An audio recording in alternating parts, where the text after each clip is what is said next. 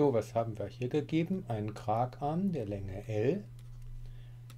Die Länge L sind 200 cm, durch eine, durch eine Kraft 0,4 kN belastet wird. Der Querschnitt ist hier aufgezeichnet. Ein Kästchen entspricht also jeweils 1 cm.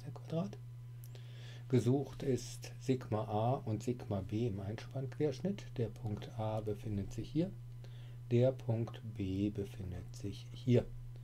Dann wird die neutrale ähm, Faser gesucht, also die Spannungsnulllinie und die Verschiebung am freien Ende in horizontaler und vertikaler Richtung.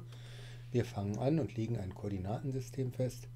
Ein Koordinatensystem hat immer die x-Achse, das ist die Längsachse vom Balken, z-Achse nach unten, y-Achse kommt auf uns zu. Verschiebung in x-Richtung bezeichnet man auch als u, Verschiebung in y-Richtung bezeichnet man als v und Verschiebung in z-Richtung bezeichnet man als w. Wir gucken jetzt von hier auf den Querschnitt drauf. Die Last greift genau ähm, oberhalb vom Schwerpunkt an. Hier ist die Z-Richtung, hier ist die Y-Richtung. Die X-Achse kommt uns entgegen. So, wir fangen jetzt mit der Lösung an. Das erste sind also die Querschnittswerte. Die sehen so aus. Wir rechnen EY aus. Das ist das Integral z dA. Von dem Rechteck hier haben wir also b h hoch 3 Zwölftel, also 1 mal 6 hoch 3 Zwölftel. So, und jetzt haben wir zwei Rechtecke mit 2 mal 1 hoch 3 Zwölftel. Das ist jetzt dieses Rechteck hier. Und 2 mal den Steiner Anteil. Die Fläche ist 2 und der Abstand von hier bis hier sind anscheinend 1, 2, 2,5. Das heißt 2,5 Quadrat und damit haben wir raus 43,33 cm hoch 4. Ich speichere übrigens immer alles ab und runde nicht, deswegen stimmen meine Ergebnisse auch genau. Die vom Professor stimmen ungefähr, die Fehler sind aber so löcherlich, dass man der Praktiker sagt, das ist sowieso das gleiche. So, das ist das Integral y Quadrat dA. Wir stellen jetzt also auf in der anderen Richtung das Teil und das sind dann 6 mal 1 hoch 3 Zwölftel, ist wieder von dem Rechteck hier. Jetzt kommen wieder zweimal die Dreiecke. 1 mal 2 hoch 3 Zwölftel, ist also wieder das Teil hier, haben wir zweimal. Und jetzt kommt der Steineanteil davon und in der anderen Richtung, also zweimal, weil ich zwei Rechtecke habe, 2 ist die Fläche und jetzt kommt noch der Abstand von hier nach da das ist 1 plus 1,5 sind 1,5 Quadrat. So, und äh, das geben wir wieder in den Rechner ein und bekommen 10,83 raus.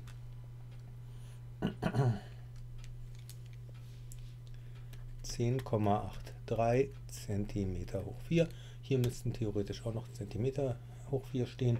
Die habe ich da ein bisschen geschnubbelt in der Rechnung. Da müsste man also jetzt Klammer auf, Klammer zu, Zentimeter hoch 4 hinschreiben. So, jetzt wird es interessant, das Deviationsmoment. Das ist bei mir plus das Integral yzda. Und man beachtet, dass es hier auch andere Definitionen gibt. Und wenn man die andere Definition benutzt, die eben minus Integral yzda ist, dann muss man nachher in den Formeln wieder bei iyz die Vorzeichen rumdrehen und dann bleibt alles richtig. Es gibt also in der Literatur sowohl diese Definition als auch die mit dem Minus und es gibt dort nicht ein richtig oder falsch, nur ich benutze alles mit dieser Definition und deswegen sind die Formeln, die ich nachher benutze, auch mit dieser Definition und wer die andere Definition benutzt, der muss hinten auch in den Formeln die Ergebnisse ändern. So, das hier ist natürlich eine 0, weil y und z gleich 0 ist.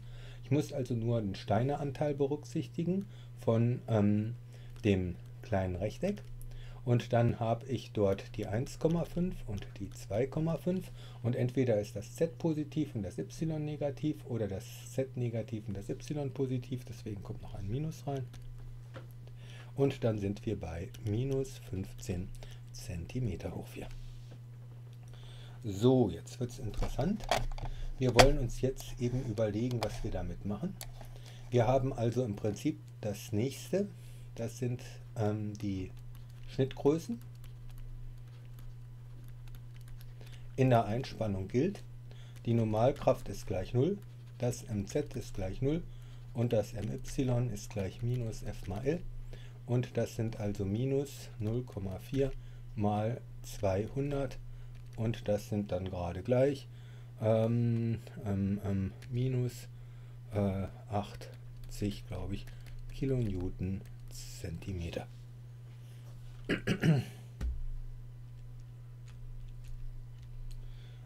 So, das sind die Schnittgrößen. Dann sind wir jetzt drittens bei den Spannungen. Ich halte es also für reine Zeitverschwendung, eine Hauptachsentransformation zu machen. Wer eine Hauptachsentransformation macht, der muss erstens mal eine Hauptachsentransformation machen, um y', iz' und den Drehwinkel Alpha rauszukriegen. Dann muss er zweitens mal eine Hauptachsentransformation machen, um EY' und MZ' in den gedrehten Achsen rauszukriegen und das MZ ist dann nicht mehr 0. Dann muss er drittens mal eine Hauptachsentransformation machen, um y-Schlange von b und y äh, und z-Schlange von b rauszukriegen oder von a. Das heißt, er muss die Koordinaten der Punkte aus, äh, verändern.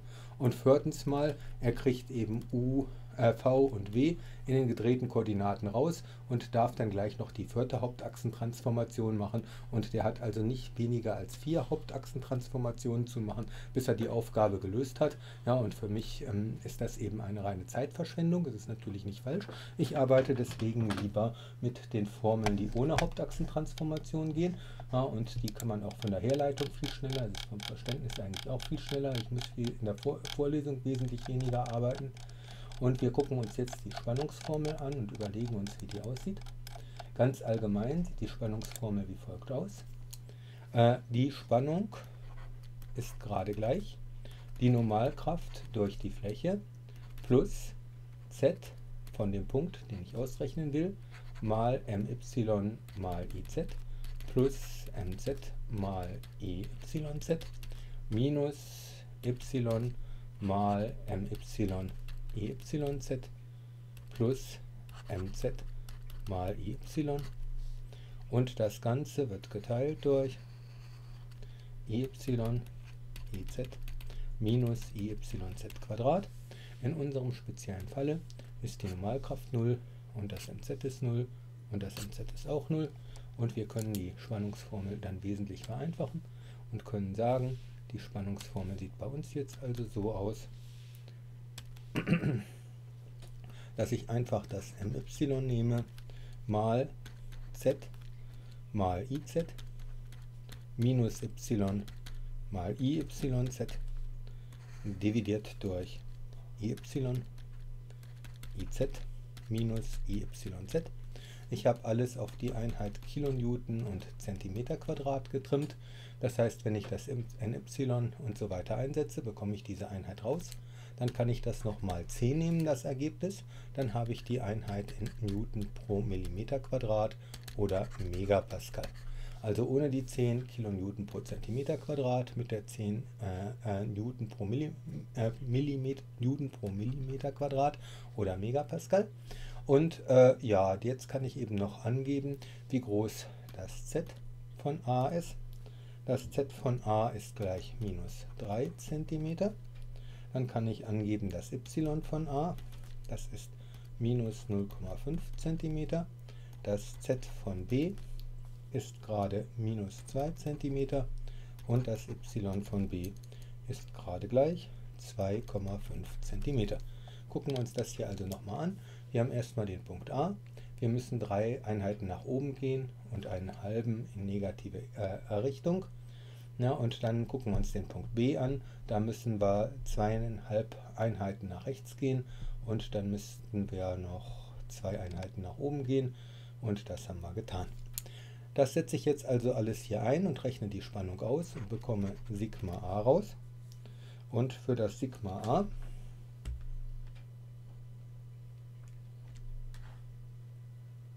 haben wir raus eine Spannung von 130 0,91, ja, die 1 lasse ich mal weg, vier Stellen reichen nun wirklich aus, Millimeter Quadrat äh, und Sigma B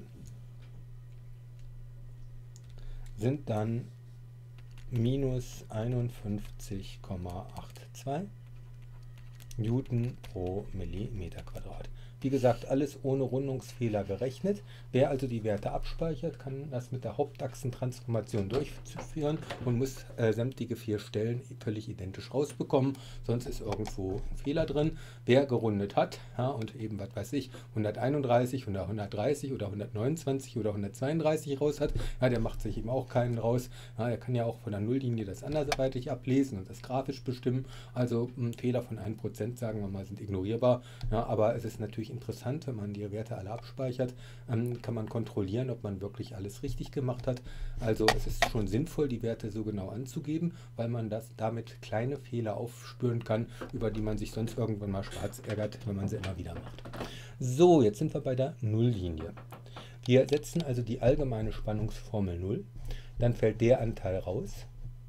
Weil rechts eine 0 steht, kürzt sich der Nenner raus. Dann fällt noch das mz raus und ich kann das Ding sofort nach z und y auflösen und bekomme natürlich eine sehr einfache Formel für die Nulllinie raus. Und diese Formel sieht dann wie folgt aus. Ja, einfacher geht es nicht. Also wie gesagt, allgemein mache ich bei der Nulllinie folgendes. Ich setze Sigma gleich 0 und dann bekomme ich, äh, wenn die Normalkraft gleich 0 ist, bekomme ich raus, dass z gerade gleich my mal iyz plus mz mal iy dividiert durch myiz plus mz mal iyz mal y ist. Und wenn das mz auch noch 0 ist, dann kommt eben die schönste Nulllinie raus, die man sich denken kann. iyz dividiert durch iz mal y. Das brauche ich jetzt nur noch auszurechnen. Und was kommt daraus? Wenn ich das EY durch das IZ teile, kommt daraus minus 1,3846y. Also z ist gleich minus 1,3846y. Wir wollen das gerade noch mal versuchen, so ungefähr auf Plausibilität zu untersuchen und zu gucken, was hier passiert ich mal den Träger nochmal so ungefähr hin, damit man ungefähr, also es kommt jetzt nicht darauf an, dass wir den Träger genau haben, sondern es geht darum zu verstehen, was wir haben. Wir haben hier also eine Kraft, die in dieser Richtung wirkt. Diese Kraft wird aufgeteilt in eine relativ große Kraft, die eine sehr kleine Verschiebung bewirkt, und eine sehr kleine Kraft, die eine große Verschiebung bewirkt. Die Gesamtverschiebung geht also in dieser Richtung. Senkrecht zur Gesamtverschiebung ist die Nulllinie. Diese Nulllinie können wir jetzt also so konstruieren, dass wir sagen, wenn wir einen Schritt nach da gehen, in y-Richtung, müssen wir 1,3 Schritte in negative z-Richtung marschieren. Das heißt, wir haben eine Nulllinie, na, die wird noch ein bisschen steiler sein, die wird irgendwo hier vorbeigehen. So, das wird also die Nulllinie ungefähr sein. Und dann stellen wir fest, ähm, die Last geht nach ähm, unten, der Träger wird also in diese Richtung gedrückt. Das heißt, wir haben hier Zug zu erwarten und wir haben hier Druck zu erwarten. Und tatsächlich stellen wir an, an dem Punkt A fest, dass wir eine große Zugspannung haben und am B stellen wir fest, dass wir eine etwas kleinere Druckspannung haben. Man kann das auch sehr schön darstellen, wenn ich diese neutrale Achse jetzt gezeichnet habe. Wie gesagt, sie läuft noch ein bisschen steiler. Dann kann man eben im Prinzip folgendes machen. Man kann jetzt hier die Spannung einzeichnen, hier mit dem Lineal Parallelen ziehen, so und hier durch den anderen Punkt. Und dann kann ich sagen, die Spannung hier, die habe ich aufgetragen. Hier ist das Ding 0, hier ist es andersrum. Und dann kann ich sagen, hier habe ich Plus und hier 131 und hier habe ich Minus und hier habe ich 52 das wäre jetzt also zum Beispiel die Spannungsverteilung so aufgetragen, dass ich sie überall abgreifen kann. Ich könnte natürlich jetzt noch den nächsten Punkt äh, mitnehmen, dann hätte ich hier wieder die 131 und ich könnte auch irgendwo wieder suchen, wo die 52 sind. Ja, die wären wieder hier, äh, weil das Ding ja symmetrisch ist. Und ich könnte jetzt beliebig einen Punkt rausgreifen. Ja, mit dem Lineal könnte ich hier sofort grafisch die Spannung ablesen. Ich hätte also in jedem Punkt die Spannung und wie gesagt die 131 plus oder minus sind die Maximalspannungen. So, jetzt kommen wir zur Verformung. Dazu müssten wir uns die Differentialgleichung der Biegellinie betrachten, wie sie ohne Hauptachsentransformation aussieht. Die sieht eben im Prinzip so aus. W2 gestrichen ist gerade gleich äh, minus IZ mal MY minus IYZ mal MZ dividiert durch ähm, E mal IY IZ minus IYZ Quadrat. Und für den Fall, dass das MZ gleich 0 ist, können wir sagen, das ist minus IZ dividiert durch EY IZ minus IYZ Quadrat und dann durch das E noch hierbei und dann haben wir MY. Wenn ich jetzt äh, I definiere, und zwar I vertikal, als IZ minus IYZ Quadrat dividiert durch IZ, kann ich auch ein Ergebnis noch angeben. I vertikal sind dann also 22,56 cm hoch 4. Und dann kann ich eben sagen, die Verschiebung in vertikaler Richtung ist Fl hoch 3 durch 3 EI. Das EI kann ich auch noch angeben. Das sind dann 46,48 Kilonewton Meter Quadrat. Ja, und dann kann ich eben ähm, die ersten Kilonewton einsetzen. L rechne ich in Metern um und dann bekomme ich das W raus. Und was haben wir da raus? 22,95 cm geht der Träger nach unten. So, und jetzt kommt die Überraschung. Die ähm, Abweichung nach links ist also größer als die Abweichung nach unten. Also erstmal hatten wir ja schon gesehen, was hier passiert. Ja, wie gesagt, ähm, die Kraft wird aufgeteilt. Die große Kraft macht eine kleine Verschiebung, die kleine Kraft macht eine große Verschiebung. Deswegen geht der Träger in der Richtung weg. Und weil die Nulllinie eben steiler als 45 Grad ist, lässt sich übrigens auch ausrechnen der Winkel. Also äh, äh, 1,38 und davon den Arcus Tangens kann man hier mal eingeben. Invers Tangens wenn ich Glück habe, steht der Rechner auf Degree. Und dann bekomme ich einen Winkel von 54,16 Grad raus. Also dieser Winkel hier sind 54,16 Grad. Der ist also größer als 45 und das bedeutet, die horizontale Verschiebung ist größer als die vertikale.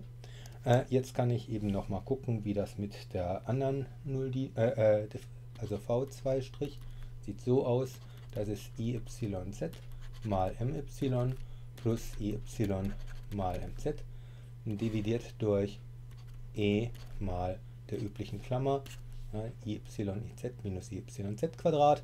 Und dann kann ich wieder sagen v ist gleich fl hoch 3 durch 3ei und das ist i horizontal und das ist i vertikal. Und das i horizontal kann ich dann definieren als y, iz minus yz Quadrat und dann der Teil fällt weg, mz ist 0, also haben wir hier das IYZ stehen. Und dann bekommen wir raus, I horizontal ist also gerade gleich 16,30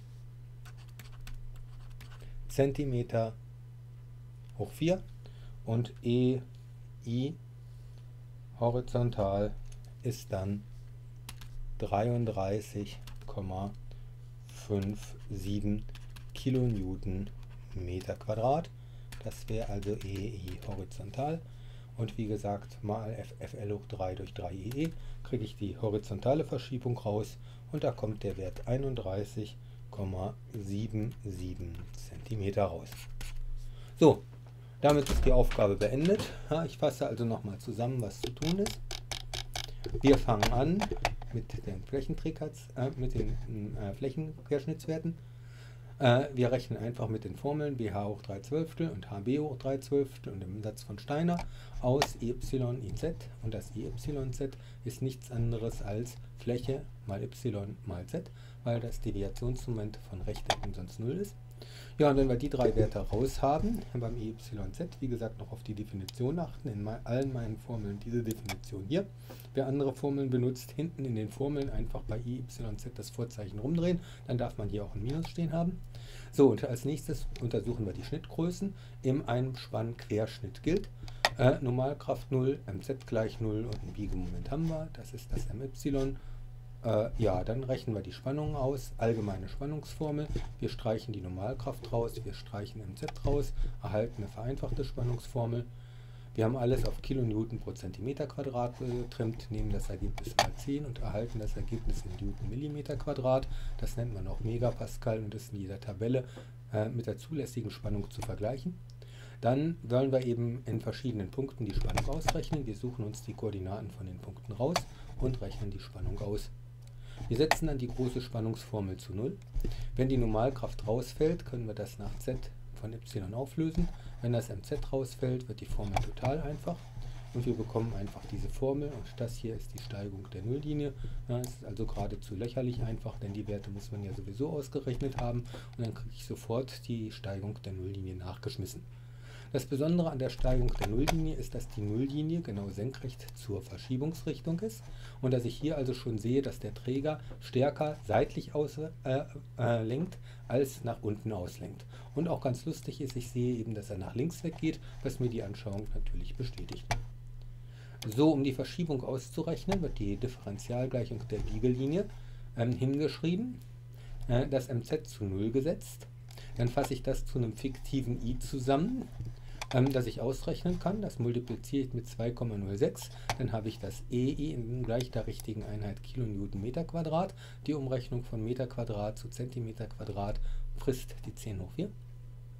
Ja, und dann kann ich eben die ähm, horizontale und vertikale Verschiebung ausrechnen. Und wenn ich Lust habe, wende ich nochmal den Pythagoras an und rechne aus dem W und dem V eine Gesamtverschiebung aus. Auch das ist völlig unproblematisch. Ja, und wie gesagt, wer die Hauptachsentransformation äh, anwenden will, kann das tun, bekommt die gleichen Ergebnisse raus, aber er muss vier Hauptachsentransformationen machen. Erstmal muss er für die Querschnittswerte die alle umrechnen und dazu den Winkel Alpha bestimmen. Dann muss er die Schnittgrößen umrechnen. Dann muss er die Koordinaten von dem Punkt A und B umrechnen. Und dann bekommt er die horizontale und vertikale Verschiebung eben nur dadurch raus, dass er die in schrägen Richtungen ausrechnet und dann wieder eine Hauptachsentransformation macht. Und der ist also mit vier Hauptachsentransformationen wirklich gut bedient. Und während ich bei, bei mir my äh, ungleich 0 ist und mz gleich 0 ist, hat der mit my und mz zu kämpfen. Der ist also wirklich eine ganze Zeit beschäftigt, der hier eine Hauptachsentransformation macht. Es bleibt natürlich richtig und liefert dieselben Ergebnisse.